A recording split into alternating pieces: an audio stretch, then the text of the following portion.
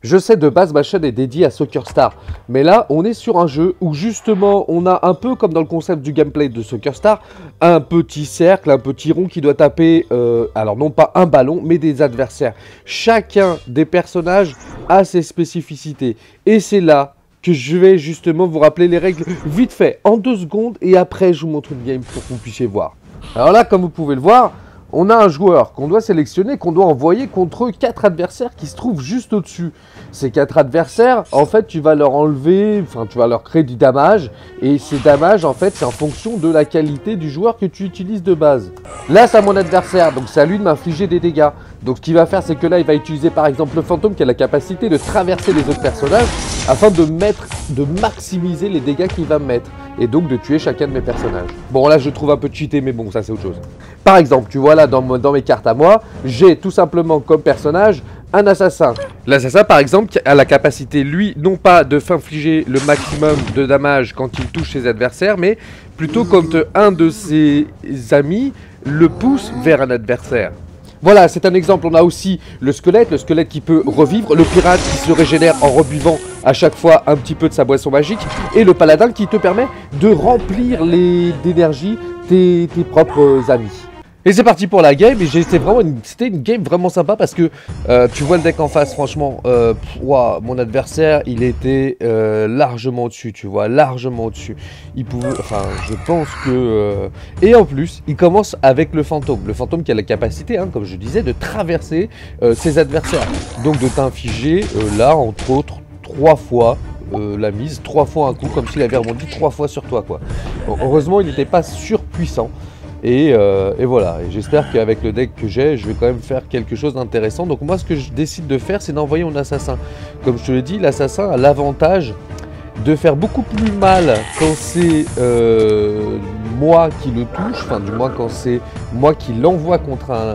que quand c'est à son tour, hein, euh, tout simplement. Et donc là, je tombe face au petit dragon qui est surpuissant et qui a pas mal de vie. Mais voilà, donc il attaque en lançant son euh, Dracula contre mon assassin. Mon assassin a eu très mal, a eu très mal. Donc là ce que je me dis c'est que je vais envoyer moi mon assassin contre eux. L'assassin fait mal à Dracula. Il lui met, euh, lui inflige un moins 124, donc euh, en lui mettant sa barre de vie quasiment à zéro.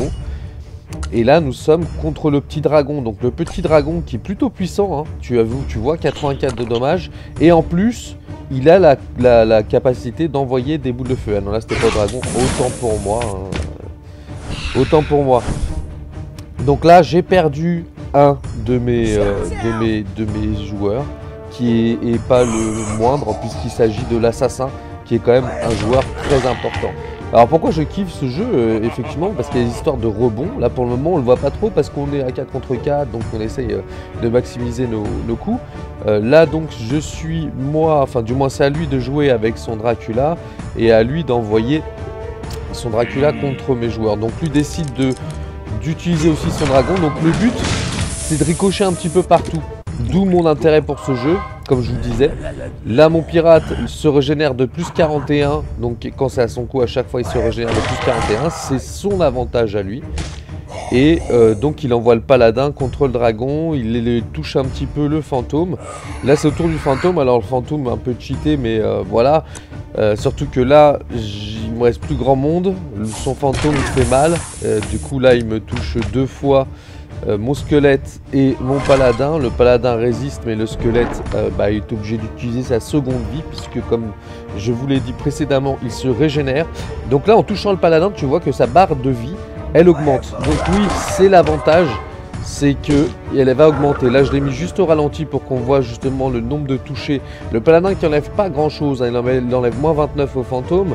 Et tous les rebonds que font donc euh, tous les autres, le Dracula qui va toucher un petit peu le paladin et donc qui va se réduire un peu son énergie parce qu'il avait augmenté en touchant apparemment le dragon qui a la faculté de pouvoir aussi augmenter la, augmenter la vie. Alors je sais pas si c'est le dragon ou un autre paladin, j'ai pas trop fait gaffe. Mais en tous les cas, voilà, c'est Dracula aussi qui a la faculté de pouvoir augmenter sa barre de vie à chaque fois qu'il touche un de ses adversaires. Donc là, il y a le paladin qui euh, augmente l'énergie du squelette et qui l'envoie en même temps sur le dragon parce que le paladin n'est pas très puissant de base. Donc autant euh, rebondir contre un de tes amis pour qu'il fasse encore plus mal, tu vois. Donc là il reste plus grand chose hein. Quand tu regardes il reste le fantôme, le fantôme qu'on peut éclater en un coup. Donc le fantôme euh, non, qui ne sera pas éclaté en un coup. Mais voilà, on a pu quand même se débarrasser quasiment de toutes ces cartes à lui. Euh, là le fantôme il lui reste plus grand chose. Donc on va y aller et l'avantage c'est que l'on peut rebondir directement dessus. Bon là c'est un peu un peu été mal géré. hein. Donc il n'y a pas d'angle comme vous voyez, hein, c'est- d'ailleurs avantageux hein, parce que les ronds et les angles c'est un peu galère, on le voit dans le Soccer Star le fait qu'il y a un arrondi dans l'angle. Euh, là, les, c'est carrément, euh, carrément, euh, voilà, c'est carrément pas arrondi tu vois.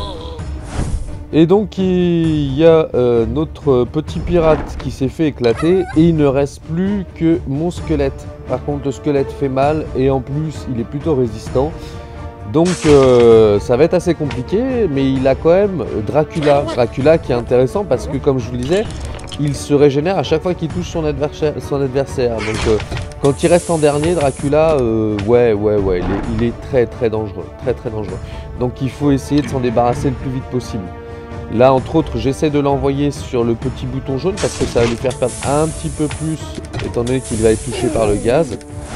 Là, voilà, on a notre gobelin en moins. Et il ne reste plus que le squelette et Dracula.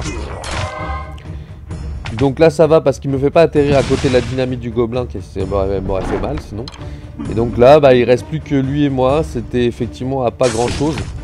Mais euh, voilà, sachant que je pars d'un deck plutôt standard, euh, de base avec très peu de rares, mis à part le pirate. Et euh, lui quand même, euh, voilà, il partait avec un deck de malade. C'est la première partie que je commande comme ça pour le fun pour vous. Bah, J'espère que vous avez kiffé, puis je vous dis à la prochaine. Ciao les gens